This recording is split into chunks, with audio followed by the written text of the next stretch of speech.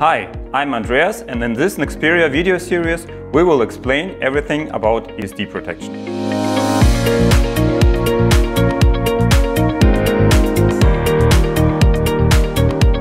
What is the difference between reverse working maximum voltage and the breakdown voltage? The reverse working maximum voltage indicates the DC voltage that can be applied without the device being active to not impact normal operation mode.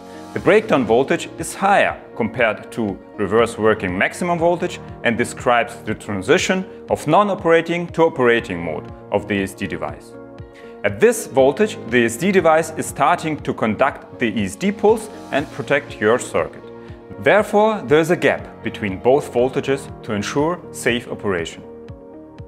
Hit the like button and subscribe to our YouTube channel. If you would like to learn more, write your questions in the comments below visit nexperia.com and check out our ESD application handbook.